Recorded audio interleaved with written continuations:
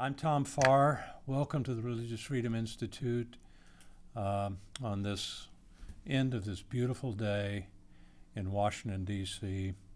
It's not often I can say that. I'm just speaking of the weather, of course. I'm not talking about anything else. But uh, there are a number of things going on in the city that uh, has delayed, I'm sure, a number of people that want to join us, so they'll be coming in. We'll, I'm sure, be happy to have them come in, even if late. Delayed our speaker. Uh, this is a dear friend and colleague of many years, Professor William Inboden. Uh, some of you may know him. Uh, I'm delighted to have him here at RFI and to be able to introduce him to you to talk to us about this wonderful new book that he's written. I'll make this brief so we can jump right into this. Will Inboden is the executive director and the William Powers Jr. Chair at the Clements Center for National Security at the University of Texas in Austin.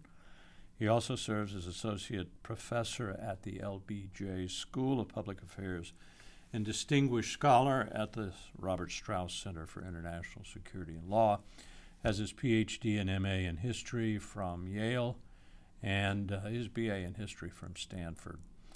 He's a very interesting guy. He lends his talents to many other organizations uh, and has received many awards, including one for teaching. Not one, many for teaching, and you're going to see why in just a few minutes. But before he begins, I want to highlight a few of the early parts of his extraordinary career that have intersected with religious freedom and religion and the origins of RFI, as it turns out. I first met Will in the 1990s when he was a staffer on the Hill. Uh, I have many staffer friends. There's probably a couple in this room. I won't identify them and embarrass them. Will was interesting in that he served both in the House and the Senate and for Democrats and Republicans. That's kind of unusual for staffers, although it happens. But the really interesting thing to me, and in the context of RFI and of this book, is the combination of experience in religion and religious freedom on the one hand, and the issue of national security on the other. He began to develop this expertise very early uh, in his career and was involved in the drafting of the International Religious Freedom Act. Uh, and he and I served together in the State Department and the Office of Religious Freedom. He then went to the National Security Council early in his career under President George W. Bush, became the senior director of, uh, what was it, uh, Will? Uh, strategic planning. Strategic planning.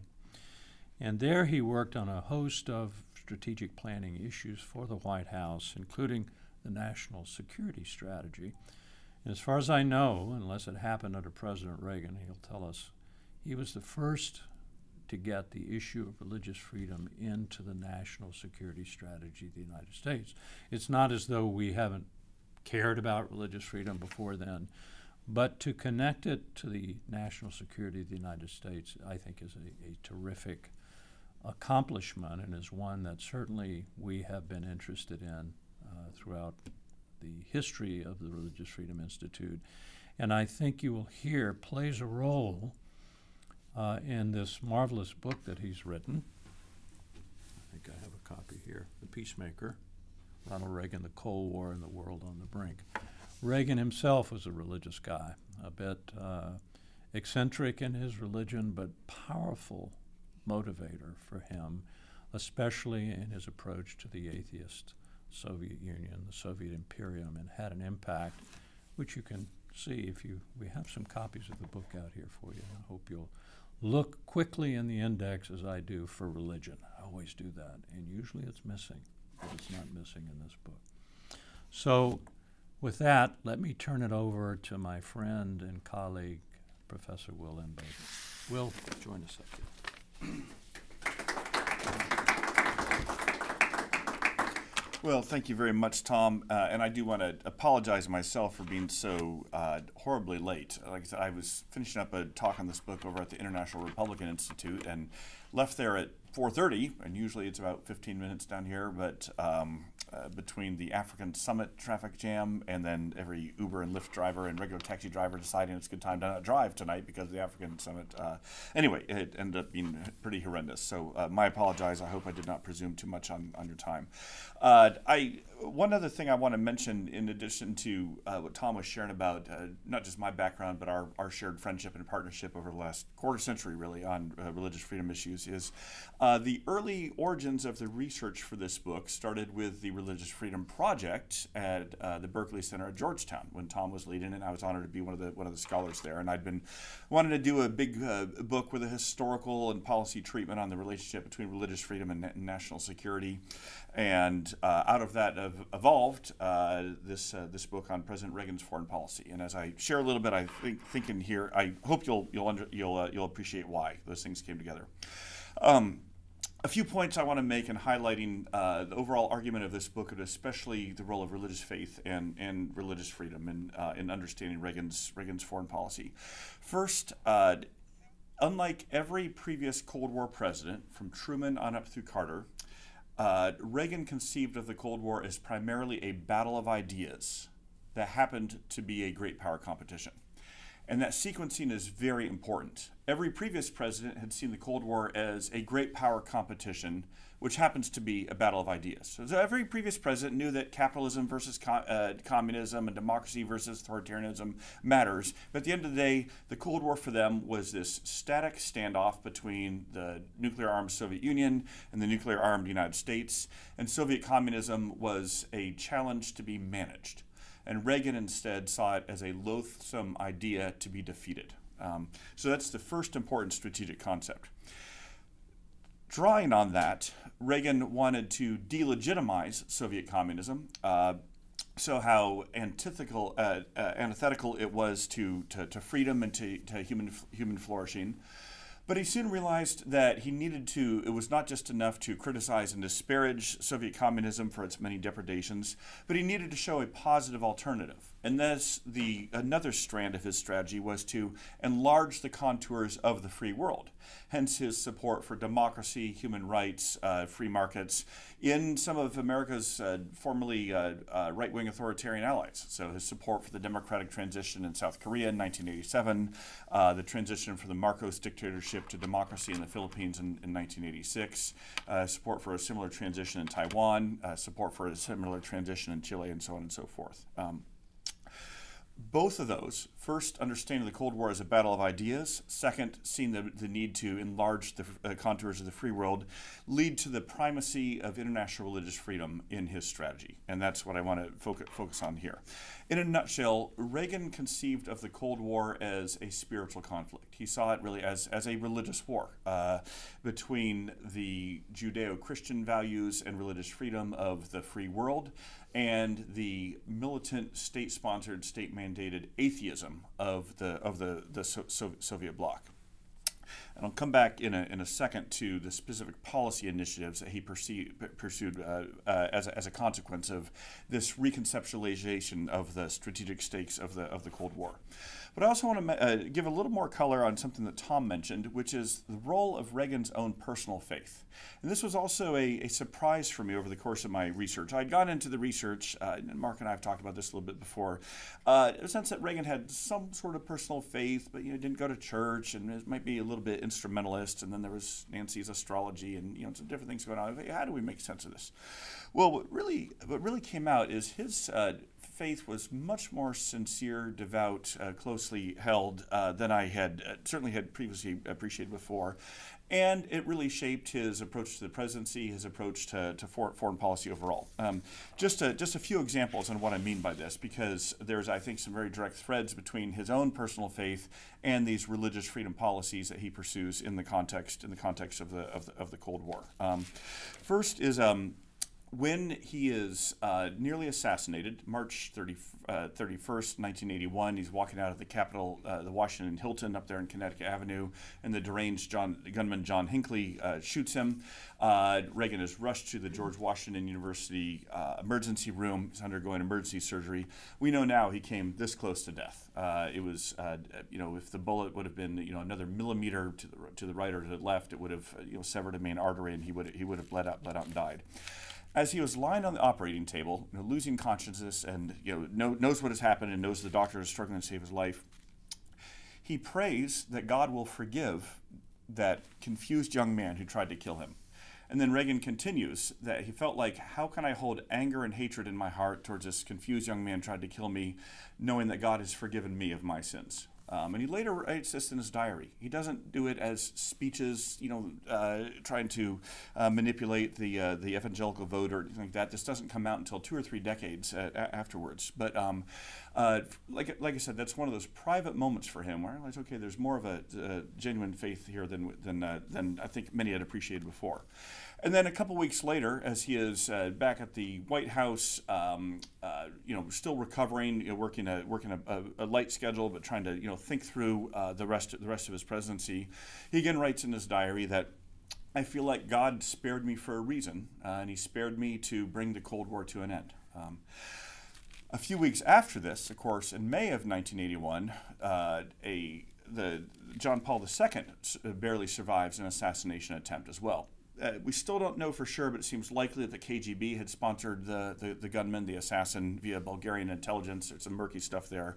Again, the Pope also comes this close to dying.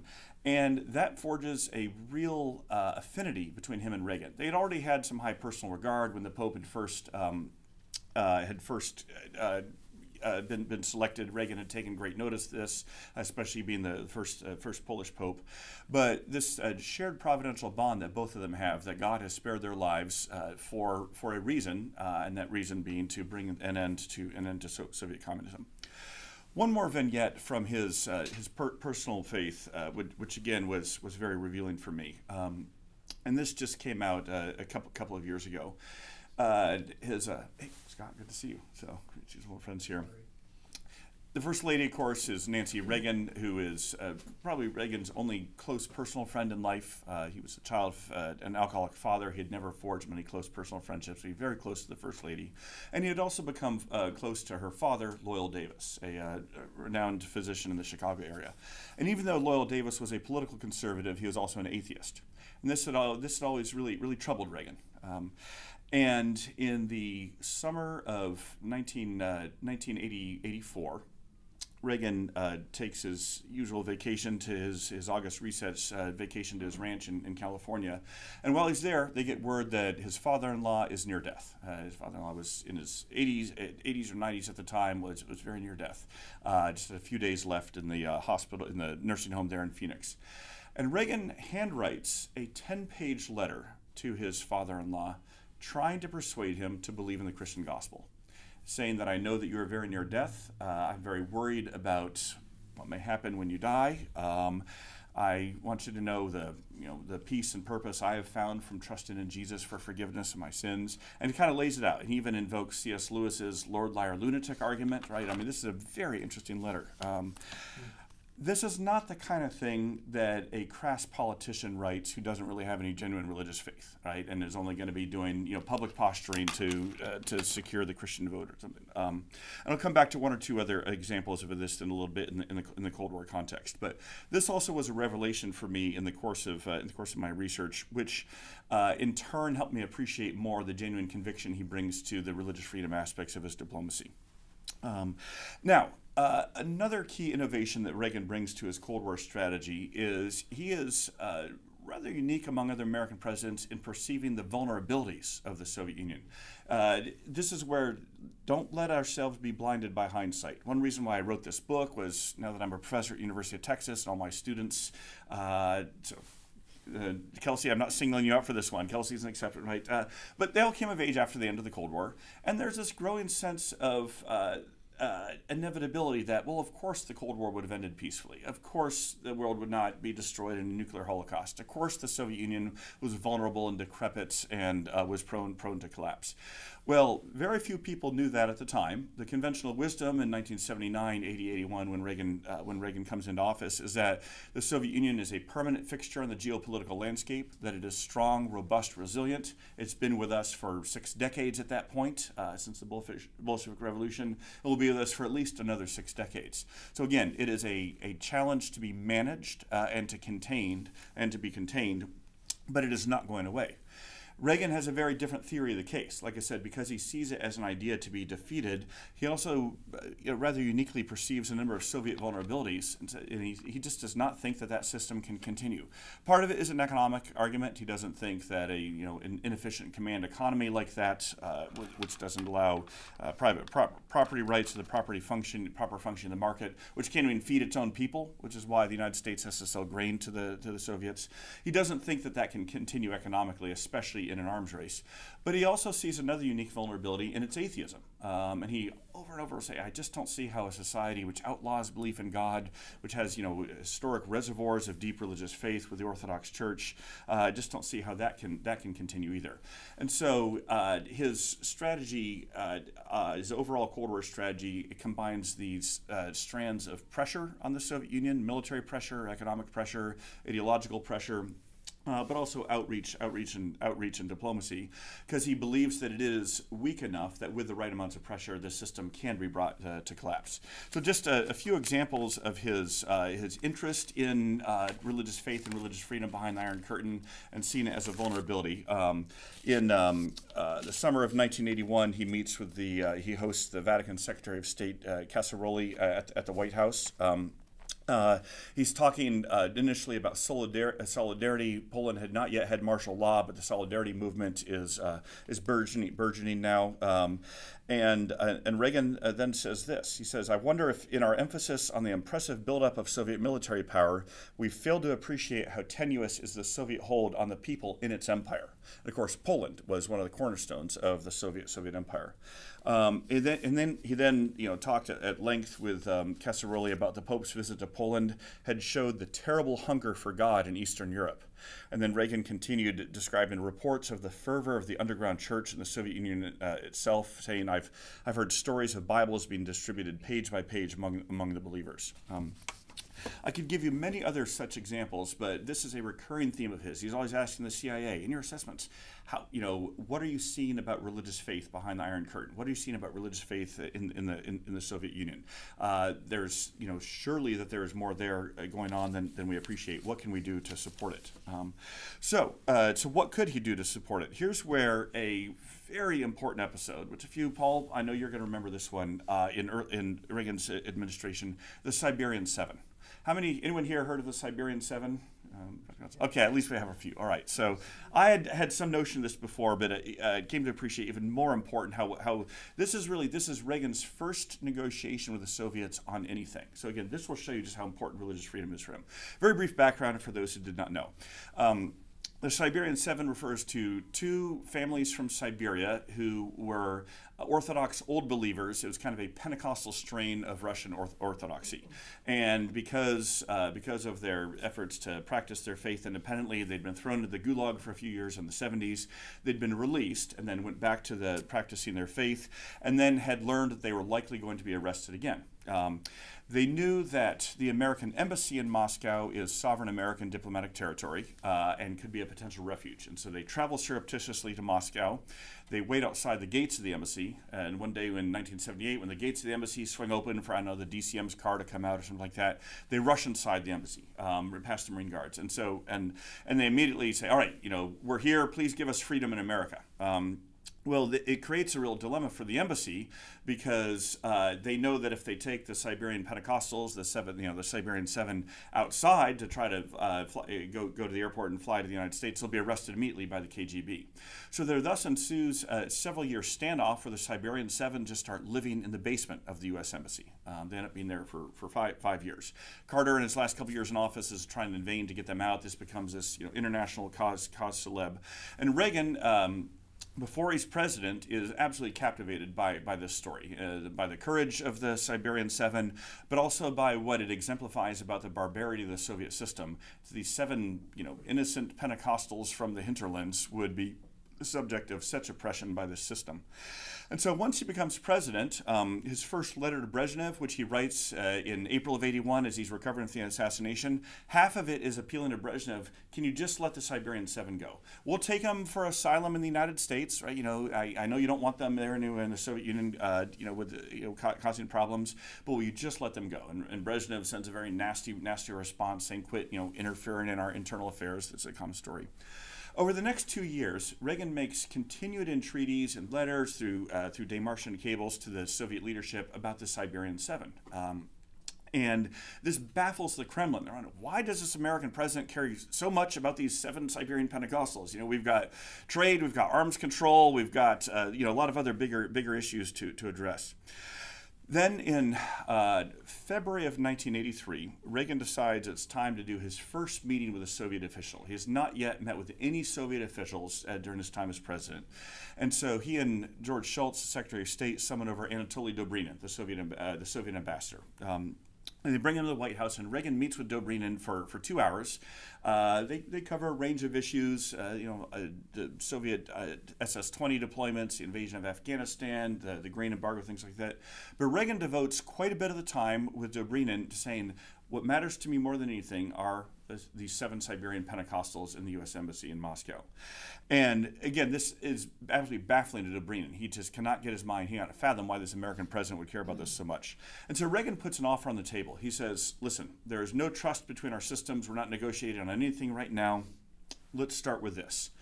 If you will release those uh, the Siberian Seven and allow them to seek uh, you know asylum in the United States, we will not say anything public about it. We will not humiliate you. We will not crow about it. Um, it will be a great uh, first step in building trust between uh, our, our governments so that we can then go on to negotiate about other things. Um, Dobrynin is baffled at this, but sends the message back to the Kremlin. Over the next few, uh, next few months, there's some back channels that go on, and it works. The Soviets quietly agree to allow a safe passage out of the embassy for the Siberian Seven, uh, and then they, they fly to the United States and they're resettled in, in Illinois.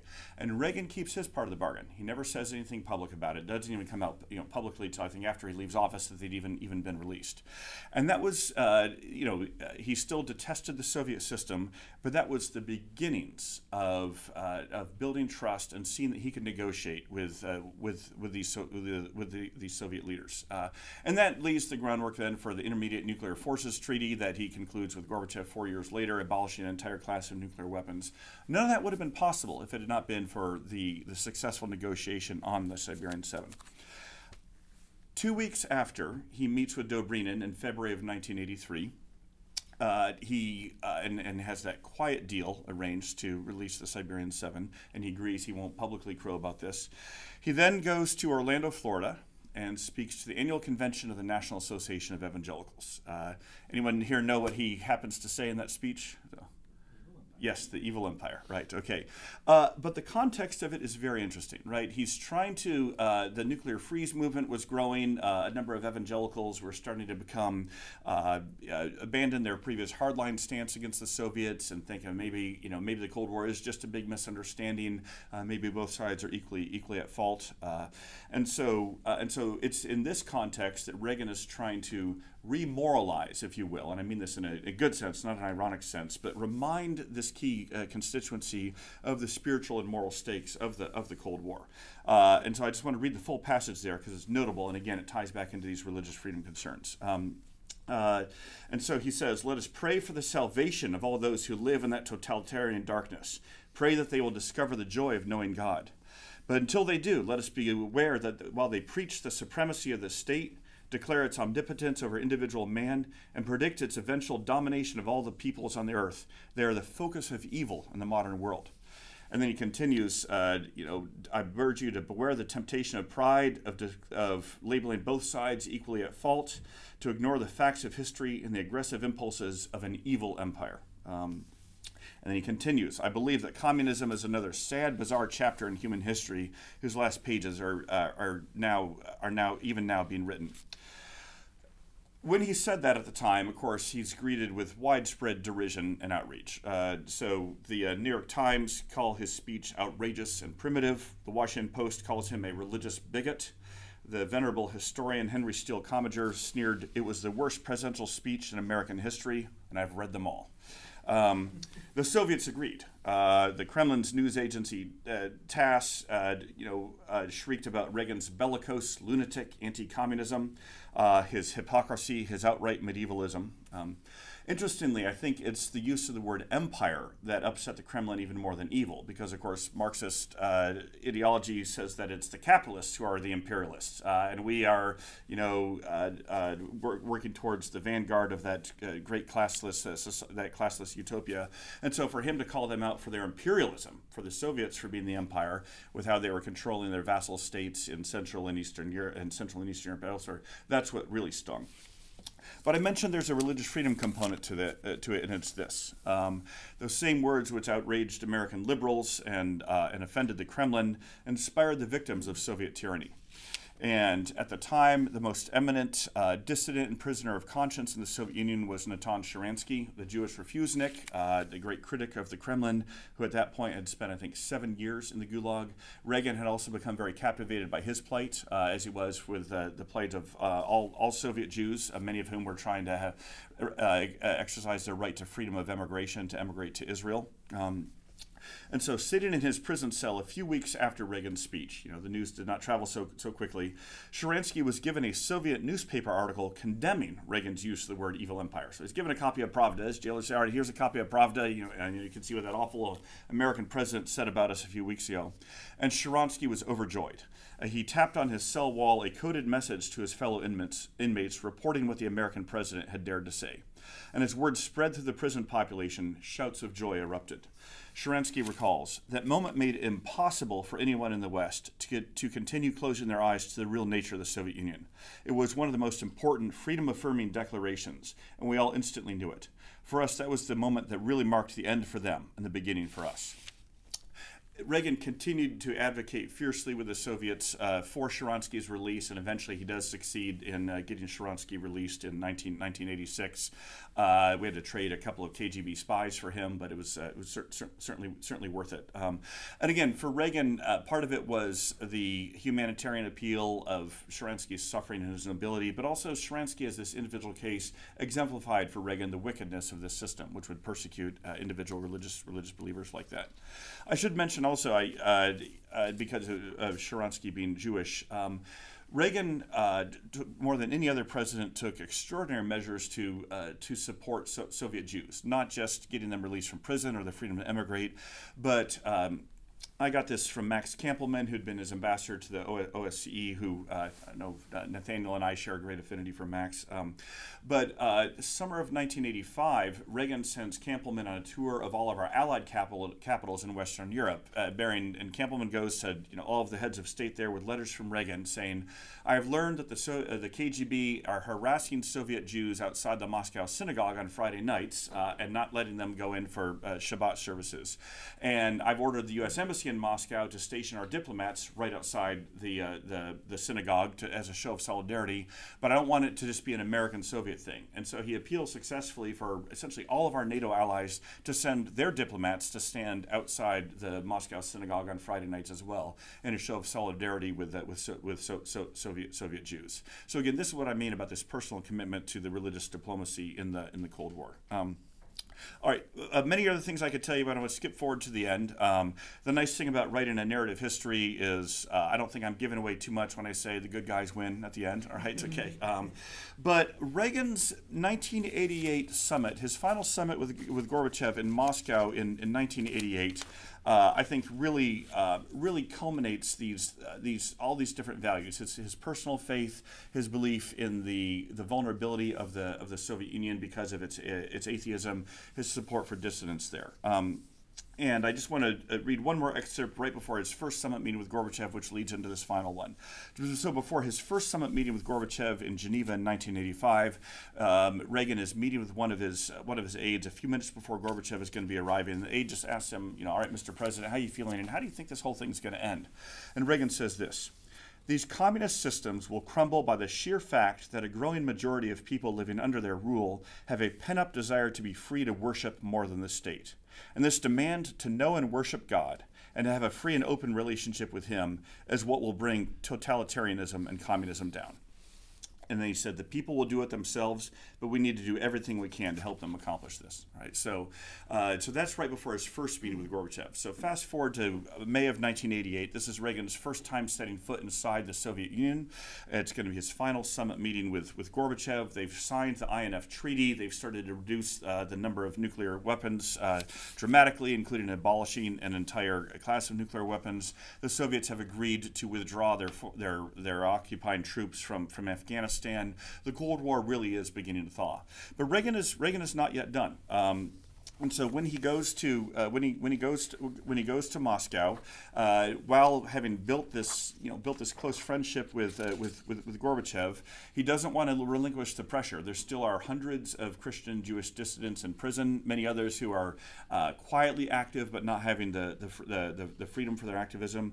And so Reagan hosts a luncheon at Spaso House, the American ambassador's residence, for hundred Christian and um, and Jewish di- Jewish dissidents. Uh, this is somewhat embarrassing to Gorbachev, but Reagan is sending here. He said, you know, my relationship is not just with you; it is with all of your people. And I, and uh, even though we're seeing great signs of progress with Perestroika and Glasnost and, and, and what and what uh, you know these these other, these other reforms, um, uh, it is still not enough. Uh, and so it continues that personal diplomacy on behalf of the um, uh, of, uh, of religious religious distance there, and then his speech at Moscow at Moscow State University, uh, just you know a, an extraordinary moment. The first time an American president's been allowed to speak openly in the Soviet Union to give an uh, un- uncensored and un- unjammed speech. Um, uh, uh, he he makes a very direct appeal. Uh, you know, no more evil empire condemnation. So rather, he's trying to persuade Gorbachev and the Soviet people to embrace religious freedom, to embrace uh, belief belief in God. Um, and he, he says this: Freedom, it has been said, makes people selfish and materialistic. But Americans are one of the most religious peoples on earth because they know that liberty, just as life itself, is not earned but a gift from God. They seek to share that gift with the world. Positive change must be rooted in traditional values, in land and culture and family and community, and it must take its life from the eternal things, from the source of all life, which is faith. Um, so again, he Reagan, the evangelist for freedom, the evangelist for faith, the evangelist for, for God Himself, has taken that message very directly to the Soviet people, um, and uh, you know interviewed and talked to a number who were there in, in the room that day and in Moscow they that day, and say they say it was absolutely electric. But there's a final moment, and this brings back full circle what I was sharing with you earlier about Reagan writing that letter to his dying father-in-law, trying to persuade him to, to believe in God.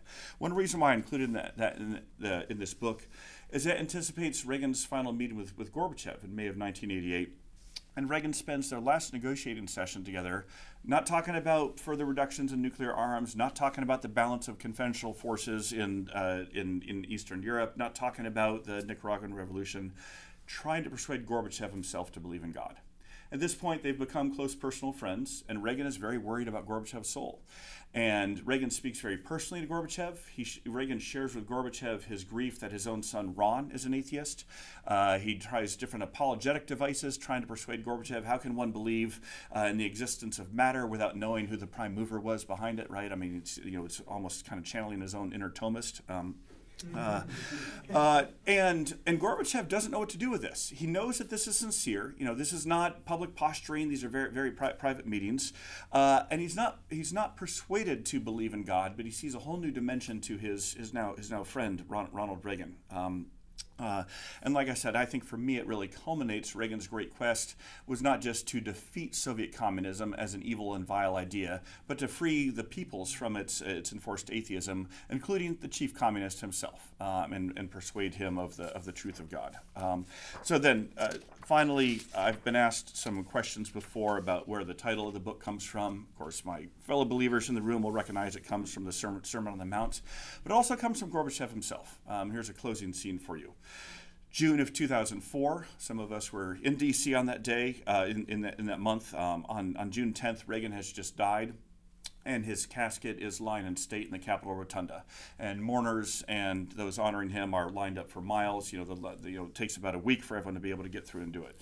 Uh, and then a, a, surprise visitor shows up, um, and it's Gorbachev himself. Um, and he uh, he's able to usher up to the front of the line. Nobody has know, had known that he was going to be coming. And he, he rubs Reagan's uh, casket rather mournfully um, and, uh, and, and gives it a pat. Um, and uh, bows his head in silence for, for a couple minutes. Um, and then as he's walking out, uh, a reporter from CBS News asks him, why are you here? What did you make of this Reagan guy? And Gorbachev says this He was an extraordinary political leader who decided at the right moment to be a peacemaker. So thank you very much. It's great to be with you. I'd love to take any questions I can. So.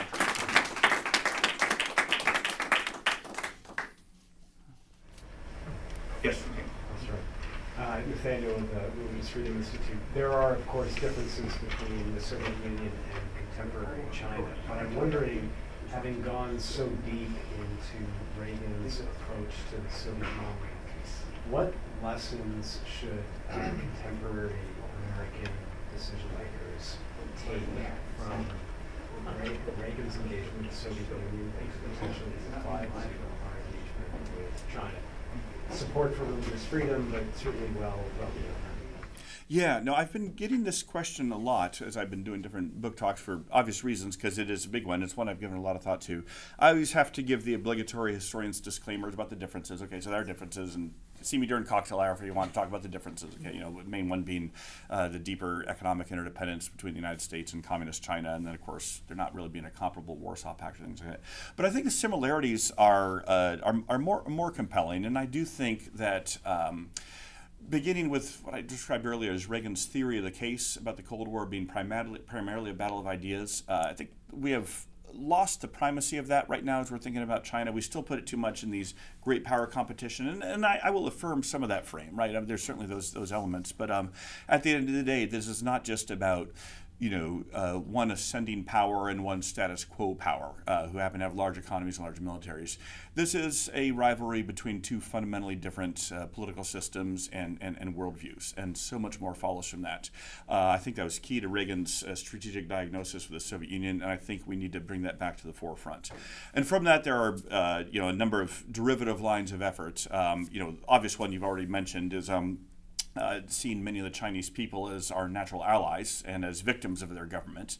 Uh, and again, you know, it's hard to generalize about the sentiment of 1.3 you know, billion people, but um, I just was struck that um, uh, Reagan's consistent outreach to the, the, Soviet people, the way he drew a distinction between the system of Soviet communism and the peoples of the Soviet Union, especially the, the, the Russian people, uh, and particularly that you know just about every Soviet religious believer, Christian or Jew, uh, came to realize that they have an ally in Ronald Reagan and they have an ally in the United States. Uh, and that back of the envelope test, and I know many of you here are rightly dedicating your lives to that, but let it be said uh, by every Chinese religious believer as well that if they would ask that question, yes, we have an ally in, in the United States, and so much follows from that. Uh, another, uh, I hadn't mentioned this earlier, but important part of Reagan's uh, you know, ideological warfare, if you will, against the Soviets was on the information operations front. And a lot of this is overt, right? It was you know massive increases in support for Voice of America, Radio Free Europe, Radio Liberty. A uh, friend and colleague of mine now at the University of Texas named Mark Pomar has just written a terrific book on this, by the way. Um, called Cold War Radios. Uh, just came out a couple weeks before mine. He ran Radio Free Europe, Radio Liberties, um, you know, kind of Russia, uh, Soviet broadcasting efforts during the 1980s. So it's part scholarly book, but part memoir. And and he recounts in there how half the time what they were broadcasting was sermons. I mean, so this was not just you know news reports, or whatever. Like, uh, uh and he said, oh, we we knew very much at, at the radios that uh, because the peoples behind the Iron Curtain were not having you know open access to religious content, that um, uh, and, and so many of our staff were exiles right? Uh, so he said, so let's uh, let's broadcast uh, let's broadcast ser- sermons for them. So Reagan like tripled the budget for the broadcasting. He and JFK are the only two American presidents to have ever visited the headquarters of Radio Europe, Radio Liberty. Uh, you know, doing that very much as a as a symbolic show show support. So the information front, another one, and then CIA was doing all sorts of covert actions. These have been declassified. I'm not giving anything away here now um, smuggling uh, Bibles, Qurans, you know, any, any religious text uh, in you know, local languages behind behind the Iron Curtain, um, as well as uh, you know Solzhenitsyn uh, novels. Uh, so the um, so on every front, you know, on broadcasting, on printing of contraband literature, uh, you know, Reagan and his team uh, really uh, waged the, the, the battle of ideas and, and, and information warfare. And again, there's some very good efforts going on with China uh, towards China on that right now, but we're not doing enough. Whatever we're doing, it is it is not enough. So that's another one. I, you know, during cocktail time, I can get some of the defense wonk stuff too. There's a very interesting story on the Reagan defense modernization. Uh, much more than just a buildup. It was not just about spending more money on the on on the Pentagon, but what the types of weapon systems we were procuring and how that strengthened diplomacy. Uh, but those those are some initial ones I'll give you. Thanks. Yes, Kel. Um, great to see you. Good to Um, see you too. I have a question for kind of the the intercession of the domestic kind of political time during Reagan and then his foreign policy piece. Mhm. Um, the speech in Florida I think is really interesting. Like at an evangelical conference, kind of is trying to make a foreign policy issue um, tied to kind of the view of American Christianity. So I'm curious, kind of, what were some of those big roadblocks? Like, how did he kind of go about both articulating his reasons for kind of framing the Cold War in this somewhat of a religious warfare standpoint, Mhm. and what was the pushback from the evangelical community in the U.S. Mhm. So, kind of, what did that look like as far as convincing them to hear about it, convincing them to kind of um, get behind that, and not lose the political base that he had built? Yeah. No, very good question. So first, I, I need to say is even though I was telling you about some of the evangelical community being, um, you know, attracted, seduced, if you will, if I can use a little bit more loaded term, by uh, by the nuclear freeze campaign, by and large, they were still a very devoted uh, base of support for him, right? Uh, and this was the big change from Carter in '76, who had gotten most of the born again vote, and then and then Reagan captures most of it in 1980. And he was, uh, and, and a lot of this in turn was for domestic uh, uh, domestic reasons, right? He was very pro very pro life. Um, he was supportive of a school prayer amendment, things like that. So some of the uh, evangelical priorities then. And if you read the Evil Empire speech, two thirds of it is a domestic policy speech, right? So it's not a. I read you the foreign policy excerpts where he brings that in, but most of it uh, is again about abortion, school prayer. Um, uh, and so he already had a resonance with them. But, you know, then as now there's a lot of ferment within different religious communities. Um, he was, uh, if anything, even more worried about uh, uh, the um, American Catholics, uh, and he was especially seized with liberation theology, and he was really worried about the inroads that that was making. This is another affinity he has with uh, with the Pope, being very worried about liberation theology's inroads in Central and South America, but also with a lot of a lot of the Catholic left. Um, and so he uh, also also spent you know quite a bit of time trying trying to uh, address that. Even at one point, uh, he you know Bill Casey, as CIA director, very devout Catholic, Bill Casey and Michael Novak put on a, a day long CIA conference on the problems of liberation theology and kind of how can we how can we address this right. So they were uh, taking that very seriously. So yeah, so for so so for Reagan, um, he is trying to he's you know certainly trying to you know keep faith with these religious constituencies. Uh, uh, he you know the great communicator he really took the art of persuasion very seriously. He knew that with this you know rather dramatic new direction in the cold war he was trying to persuade the american people including the, the, the tax burden to, to, support the defense buildup that he needed to explain to them why he was doing this and where he was trying where he was trying trying to take that. So um, but he was speaking into a, a, pretty pretty friendly friendly audience there too. Yeah. yeah scott. Um, thanks for doing this book. The blurbs are so impressive that either it's a tour de force or you just know all the right people. Yeah, a little. Yeah, that's okay. But that, I mean, I, I can't wait to, to sort of to read it. Uh, easy question because I know it's been a long day. So does your book come down on on his spirit animal, hedgehog or fox? Oh, very good one. Um, more hedgehog. Yeah. Or- or yeah. hedgehog. Yeah. hedgehog. So that, but my my bigger question is sort of to think about the sort of these typologies, you know, of say like a Walter Russell Mead. Mhm. and to see where, where a Reagan fits in. Does he, does he fit into one of those typologies, or is this a new, is this something new? Mhm. Right, because I always, I'm not, I'm never satisfied with this notion of, you know, sort of Hamiltonian, Jeffersonian, Mhm. you know, Jacksonian, Wilsonian sort of you know, slots. Mhm. Because, because, because it's, it's, because all these things in the Mead, in the Mead context are drawn from domestic politics and Yeah. domestic sources as well, plus a sort of a, a global vision. Mhm. So is this a new sort of typology, an American conservatism? Because, because as I, as I see it, Reagan, I mean, sort of Jeffersonians and Jacksonians probably both like peace through strength, Mhm. Yeah. right? So I mean, uh, Hamilton would like the, the trade angle. Um, you know, Wilsonian, at least on the right wing, would like the fact that he went after the Soviet Union. Oh yeah, and, and his Westminster address, on which you get the National Endowment for Democracy and all the derivative organizations. So yeah. Right. So is this something? Is this something new? Is this an American conservatism, and then drawn from from what? Is it some of his religious perspective? Is it some of his his Hollywood perspective? I mean, is this something new in the sort of a, a Reagan sort of approach? Um, and then, I mean, I was going to ask about you know the, the sort of applying that and whether or not anyone has applied that, you know, uh, since him. Mhm. Um, but that's that's sort of a different question. But I mean, I don't know if you're if you have a thought on that. Yeah, wow, very good. So, um, you know, the closest president we've had to trying to replicate Reaganism uh, is George W. Bush, the one that I worked for. You know, others of us did here. Now, um, Bush, you know, I think it'd be safe to say failed in some respects, and Iraq and Afghanistan would be the exemplars there. And again, obviously, we all know there's some very complicated histories with those wars, and I worked on it in my policy time. But, but in terms of uh, Bush, self-consciously uh, wanted to place himself in that Reaganite tradition of. Uh, uh, especially a values-based uh, uh, uh, American international leadership, right? Um, the the formative uh, strains of Reagan's convictions, and this is my backdoor way of getting back around to the Mead typology, are certainly his faith. I think I've you know made made the case there, but also history. Um, and he is very much a child of the 30s and 40s. And for him, the big takeaways are from the 1930s. Uh, a deep aversion to protectionism and isolationism, and he sees uh, those as you know the twin toxins of the 1930s, and he's very concerned about their resurgence in the 70s and 80s. Uh, and again, you know those of us of a you know older vintage here who can remember the 1980s, it was a protectionist decade, right? Everyone in Congress wanted to uh, you know slap more tariffs on Japan, get in trade wars with uh, the, the Asian tigers, and Reagan fiercely resisted that. Okay, so that's where his his Hamiltonian side come out.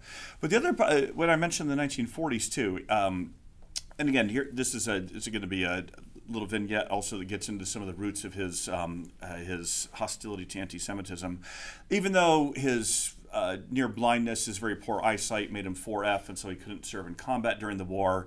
Because he's a Hollywood actor, he uh, instead is uh, making training films for the Army Air Corps during the time. You know, training films, propaganda films. Um, but uh, he's very much formed by the World War II experience on the, uh, the, the importance of allies. You know, this is why he becomes, I think, the American president in our history most committed to allies, even though he knew how vex, uh, vexing they could be.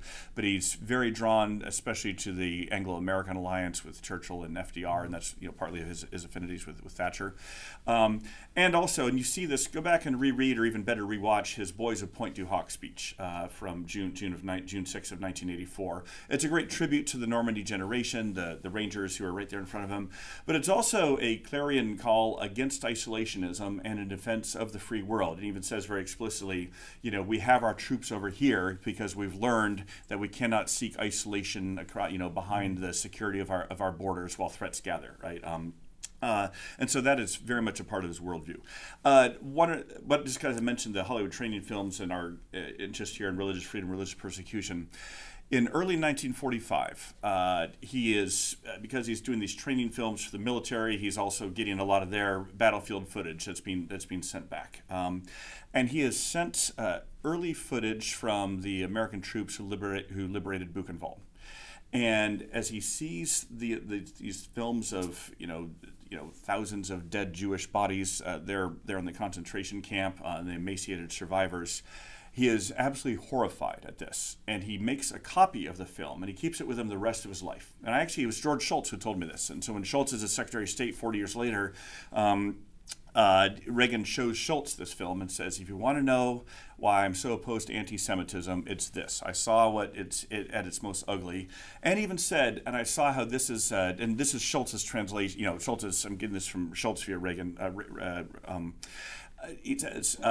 This shows uh, Reagan how anti-Semitism is often a leading, ed, in, leading indicator of totalitarianism. Uh, and and so this is why he is so captivated with the plight of Soviet Jews because he similarly sees them as the canaries in the coal mine, if you will, for for Soviet so totalitarianism.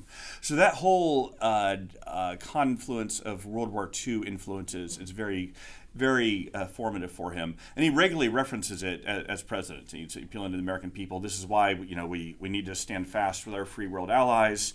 Uh, this is why isolationism and protectionism are, are not are not the answer. But finally, the one other one just going to mention is Vietnam's also an important experience for him. Just seeing the traumas it inflicts on the nation and uh, the disasters of having a you know large ground troop deployment uh, in you know the middle of a you know, anti-communist struggle, which is also a civil war, uh, with their hands tied, all the maladies of Vietnam. And so this is why Reagan is very uh, reticent about actually deploying ground troops in combat. In his eight years as president, he only deploys ground troops in combat once. Anyone know what that, what, what that was? Grenada, exactly. And it's over in a weekend, right?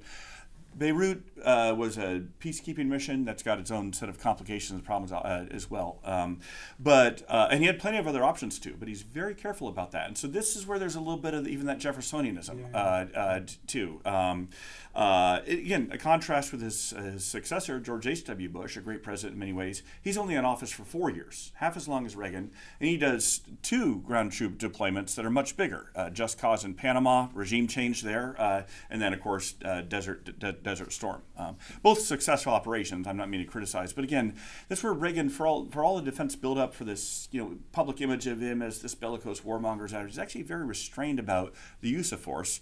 Rather, he's much more focused on a strong military strengthening our diplomacy. Um, and that's why he deploys the, the Pershing II and ground launched cruise missiles. Um, in Western Europe to threaten the Soviets. Mm-hmm. Gorbachev says these are like a pistol pointed at our head, right? And this is what brings Gorbachev back to the negotiating table. So there's a much more sophisticated integration of force and diplomacy in Reagan's statecraft than I had previously appreciated before before doing the book. And so do you think it's a new strain being able to take from? All? Oh yeah, your original question. But you don't have to answer Okay. that, because that, mm-hmm. maybe it's not answerable. Yeah. And so he's taking from all, but is it a new strain?